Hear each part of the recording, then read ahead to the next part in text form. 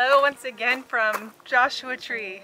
It's my 30th week of pregnancy and probably one of my very last trips before I give birth. My last bathing suit that will fit my growing tits.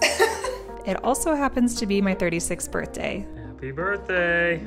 So I decided to take Garett to one of my favorite places in the world, the Southern California desert. Last I saw you, I was in a wintry Quebec finishing up my second trimester, and while that long journey and driving in the snow for the first time was alright, I'm about done with long journeys for now. this is only about an hour flight. I have restless legs lately, so long flights are brutal, but an hour I can manage.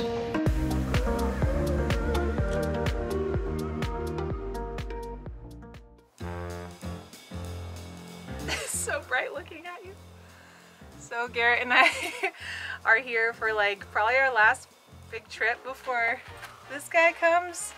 I'm 30, almost 31 weeks pregnant, and today's my birthday. Happy birthday!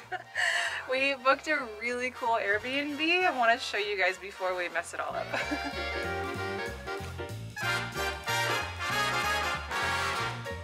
it's like a retro dream. you never know when you book a place what it's really gonna be like when you get here, but when we walked in last night, we were just like, this is so, so cool. They stuck with the theme everywhere. There's little details everywhere.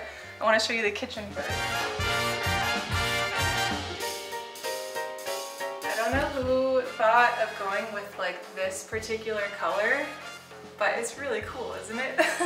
it totally works. It works in here. Look at the sitting area.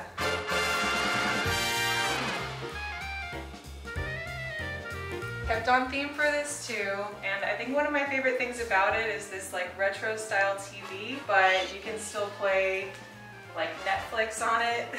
And look at this sitting area.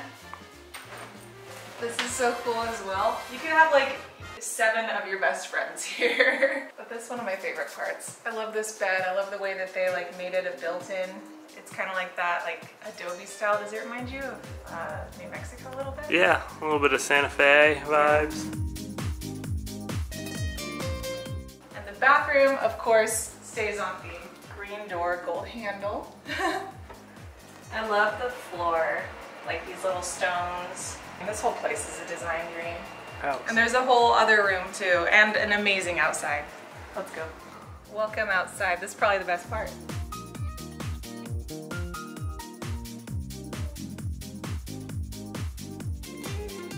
What's that cornhole? Yes. Just makes me think of Beavis and Butthead. Put a clip of that in there. I am Cornholio. I need TV for my bungo. I am the great cornholio. What does that even mean? Is this still rolling? yes. Okay. and this is the other cool spot.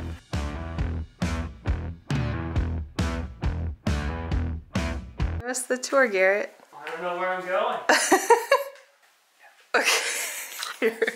So this is the other room that if you brought like a whole other family, you could fit in here. The first thing I noticed is this giant pool table. So this is like the game room. This is like the rock and roll room. You get your own set of like bathrobes and pool stuff here. We just realized what this couch is here for because there's a giant TV over there. And then the other cool thing about this is you have two queen size bunks here. So I feel like you could easily fit like two adults comfortably or obviously children. There's a little kitchenette. You've got your own green coffee maker. Um, you can make tea if you want to. There's an induction stove here. So people don't have to run over to the other one. Yeah, so you don't have to wake up the other people if they're still sleeping or whatever and you want your morning coffee. TV Oh, there. there's another TV in case you want to be in in bed. the bunk bed. Yeah. Oh my gosh. they thought of every detail in a way that I just never would. this is like the rock and roll room. There's even a guitar over there. There's all these movie posters. There's two ACs so you will not get too hot in here. I love all these pictures from Joshua Tree. And the bathroom. The bathroom is beautiful. Look at the tiles in here. Oh my, what is going on in this toilet? It's a nightlight. It's like a disco toilet. I love the pool though. It's a shipping container and there's even like a little window cut out. So we're definitely hitting that up.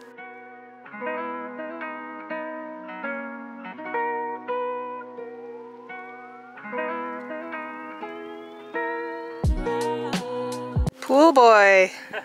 I like it.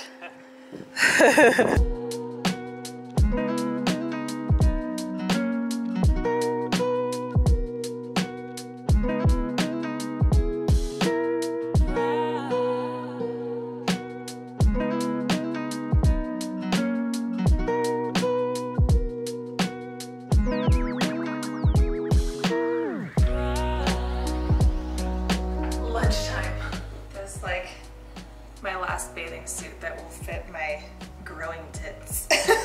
I didn't think they grew this much when you were pregnant. I knew they would, would from nursing, but like, when we figure out what we want to eat, I'm always thinking about, like now, I thought about nutrition before, but now I'm thinking so much more about the importance of getting certain things for the baby. I'm just so much more conscious now of like what I'm putting in my body. So this morning we had some granola with berries and bananas. So that gave me calcium and all the antioxidants from the berries. And now I want to make us a nice salad. Another thing I've tried to be super conscious of, and I did this before, but now I'm like ultra careful, is everything organic. Got cucumber, rainbow potato, sweet bell pepper, tomato, avocado, of course. And they left us in our, like this little snack pack. So these cheesy wisps I'm gonna crumple and put on top. And they also have vinegar and oil, which is really good because we just realized we completely forgot to buy dressing yesterday. And I'm putting that on some greens. Look, they say to eat the rainbow. Lunchtime. Mmm, that turned out nice. Oh, it's time. Our host left us this sparkling uh, white tea beverage. Preggy champagne. Well, that's not ideal. I can't either. Mental math eludes me right now. okay, we had to take a little Scrabble break for dinner. Making burgers.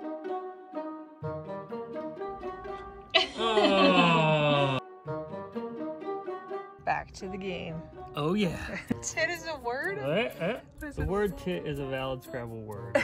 tit. A mammillary gland teat. Really? Tit. A woman's breast. Tit. An idiot or a fool. So I can use vulgar words on here. Good to know. No. Quick sunset drone break.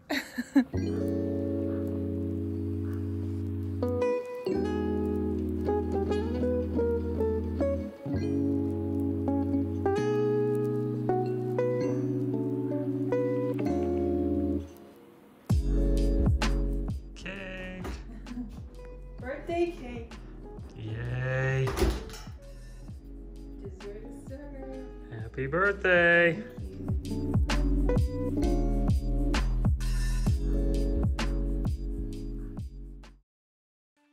Little hummingbird. So cool to see you out here. Oh my gosh. I've decided that I want to try hypnobirthing for the birthing process. It's basically where you meditate and tap into a relaxed state through the whole thing and just trust your body to do what it's meant to do. So I like that. I find that very simple and approachable. So the most important thing that you do though is practice. So every day I try to at least do one of the meditations and they can range anywhere from 5 to like 30 minutes, but ideally as it gets closer I'll be doing at least a couple hours of the meditations each day because during the labor I'll be doing it ideally the whole time. So let's settle in and do one. I'm not completely new to meditation, but I know that practicing is super important because I admit I haven't been wonderful about doing it lately. So I'm trying to get in as much practice as I can so that this feels natural to me when the big moment comes.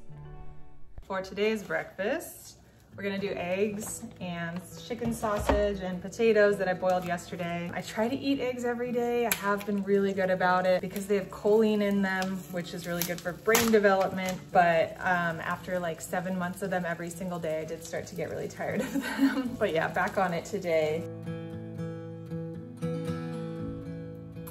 Not bad.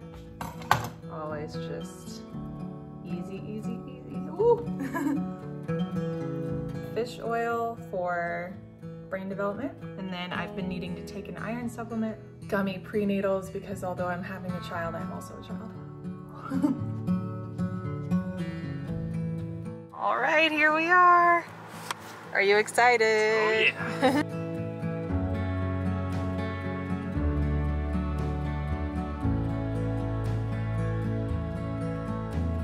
These last two days relaxing in the desert have just been a reminder that we have so much fun when it's just the two of us, and I have to admit it's a little bit hard to get used to the fact that that's going to be over soon. A little hazy today. A little bit. But I am really excited to be sharing our world with this new being, and I'm just soaking up the last few moments that we get to be just the two of us before we go on this new adventure. Time to head out.